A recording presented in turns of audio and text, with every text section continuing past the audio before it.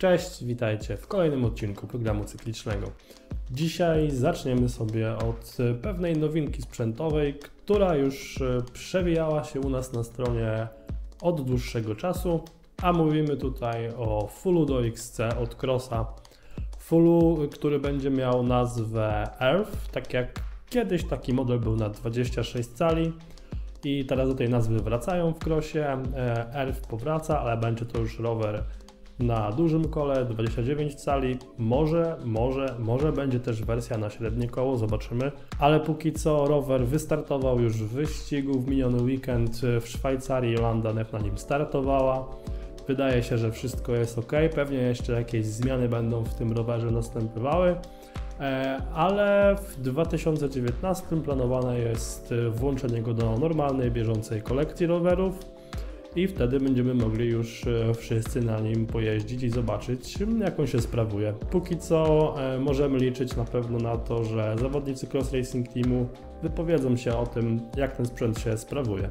Podczas zakończonego ostatnio Seattle Classic, oprócz e, wszelakiego rodzaju wyścigów, jest też Expo, na którym wystawiają się przeróżni producenci, raczej ci mocniej znani w Stanach Zjednoczonych, no i między innymi tam wystawiała się firma Motion Instruments, która jest, e, jak to sami mówią, małym startupem z e, Krzemowej Doliny.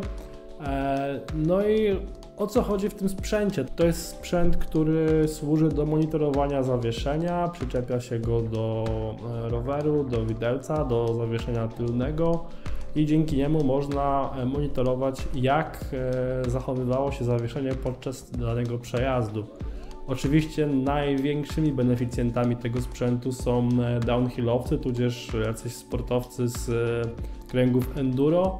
E, natomiast firma Motion Instruments będzie wchodziła na regularny rynek i każdy będzie mógł sobie taki sprzęt kupić, ale zapewne nie będzie to mały wydatek. Myślę, że może być to nawet sporo droższe od jakichś topowych pomiarów mocy. Cały czas czekamy, aż firma oficjalnie pojawi się na rynku i będzie można ten sprzęt zamawiać. Na razie nawet strona nie jest e, zbyt dobrze postawiona, a najwięcej o tym sprzęcie można wyczytać w newsach na stronie Vital MTB. Trzeci i ostatni news to zapowiedź, a może nawet już nieaktualna zapowiedź, bo dzisiaj rano dostałem na skrzynkę mailową informację newsletter z Beskid MTB Trophy, że zostało już tylko 9 pakietów do rozdospynowania.